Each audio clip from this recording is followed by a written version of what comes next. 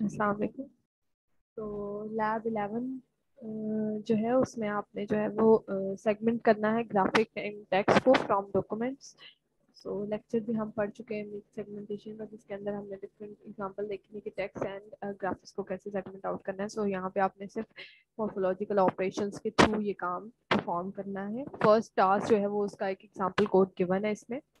जो जिसका कोड मैं अभी शो कर रही हूँ ठीक है? इस कोड में आपको एक पूरी एग्जांपल गिवन है जैसे मैं क्वेश्चन आपको दिखा देती हूँ। क्वेश्चन इज़ कि आपके पास ये इमेज गिवन है इसमें से टेक्स्ट एंड ग्राफिक्स को सेपरेट uh, करना है। सो so, लेक्चर में भी हमने देखा था कि आप जब टेक्स्ट एंड इमेज को कंबाइन करते हैं सो so, आप उसकी हाइट एंड विथ को प्लॉट कर लेते हैं। तो जो इमेज होता है उसकी हाइट ऑफ़ कोर्स ज़्यादा होती है लेकिन टेक्स्ट या लाइन की जो हाइट होती है वो कम होती है। सो so, आप यहाँ पे देखिए जो हमने लाइंस एक्सपेक्ट की है उनकी हाइट नीचे है वो ग्राफिक की जो विथ और हाइट है वो ऊपर पॉइंट प्लॉट हुआ अब ये काम हुआ कैसे? ये कुछ ऐसे हुआ है कि आपने पहले इमेज को बाइंडराइज किया देन डायलेट किया है रो वाइज सो आपकी ग्राफिक्स और लाइन रो वाइज जो है वो कंबाइन हो गई है। देन आपने उसको सीसी लेबलिंग अप्लाई की है। सीसी लेबलिंग के जो है डिफरेंट स्टैट्स होते हैं। विद स्टैट्स का फ़ंक्शन जब आप यूज़ करेंगे तो उसमें ये डिफरेंट स्टैट्स आपको मिल जाएँगी। Left top width and height so आपको जो है विथ एंड हाइट प्लॉट करनी है तो आपने यहाँ से विथ एंड हाइट उठाई और आपने उसको स्कैटर प्लॉट के थ्रू यहाँ पे जो है वो प्लॉट कर लिया ठीक है?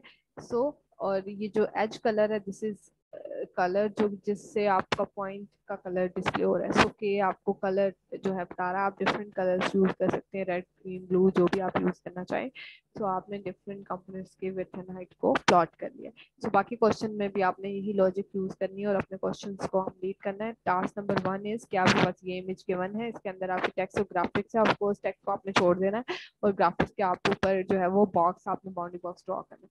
सो so, इसमें सिर्फ़ लॉजिक ये है कि आपने जो है वो सेम वही काम करना है, जो ऊपर किया है। कंपोनेंट्स निकालने सब कुछ करना है, लेकिन सिर्फ़ और सिर्फ़ आपने इसमें फिक्स कर लेना है कि रो की हाइट और वेथ की हाइट का थ्रेशोल्ड लगाना है कि वो क्या थ्रेशोल्ड है, जिसके ऊपर आपने रेक्टेंगल ड्रॉ करना है। तो सेम रेक्टेंगल का फ़ंक्शन अप्लाई कर देना, लेकिन इसके ऊपर एक इफ़ लगेगी जो आप खुद डिफाइन करेंगे कि आपने इसकी वर्थ राइट क्या है जो ये ग्राफिक्स को डिटेक्ट करेगा। ठीक है टेक्स्ट के ऊपर बॉक्स नहीं बनना चाहिए ग्राफिक्स के ऊपर बॉक्स बनना है। इसका नेक्स्ट क्वेश्चन है कुछ इस तरह से कि आपके पास इमेज गिवन है और इमेज के अंदर सिक्स रोज हैं और सिक्स रोज के अंदर भी four and five five components हैं। सो so, आपने करना ये है कि सबसे पहले इस इमेज के अंदर रोज एक्सट्रैक्ट करनी है एंड हर रो के अंदर जितने ऑब्जेक्ट्स हैं उनको भी काउंट करना है और उनकी विथ हाइट को यहाँ पे प्लॉट करना है। सॉरी लाइक फ़र्स्ट रो है फ़र्स्ट रो के अंदर फोर प्लेन्स है फोर की विथ राइट कुछ ये ऑरेंज कलर में प्रिंट हो रही है। सो सेकंड इज़ प्लेन्स तो आपने उसके मे भी पर्पल में वो डिस्प्ले हो रहा है ठीक है? अगर ये हैंड्स की जेस्चर है तो मे बी वो यहाँ पे कुछ ऑरेंजेस में ऑरेंज कलर में डिस्प्ले हो रहा है। सो so, हर एक रो के जो ऑब्जेक्ट्स है उनका डिफरेंट कलर आना चाहिए ठीक है? इसकी लॉजिक ये है कि आपने नेस्टेड सीसी कंपोनेंट लेबलिंग लगाना है लाइक पहले कंपोनेंट लेबलिंग लगाना है कि आप रो निकाल सके फिर आपने एक रो के ऊपर सीसी लेबलिंग लगानी है ताकि आप उस रो में से जो नंबर ऑफ़ ऑब्जेक्ट्स हैं उनको काउंट कर सकें ठीक है? So sorry first one is कि आपने यहाँ पे सीसी लेबलिंग लगाई रो एक्सट्रैक्शन के लिए 1060 से आपने रो निकाल दी आपने सीसी लेबलिंग लगाया आपको पता चल गया सिक्स रो है। अब हर एक रो आपने उठानी है। सो so, आपने जब इसकी स्टैट्स वाली इंफॉर्मेशन लगाई तो आपको हर रो का जो है width height and top and left मिल जाता है। सो so, आपने उस पूरे को क्रॉप कर लेना है इमेज में से। क्रॉप करने के लिए आपने ये लॉजिक यूज़ किया। आप एक्चुअल इमेज में से अगर वो वर्थ और हाइट उठा लेंगे तो आपके पास एक रो आ जाएगी।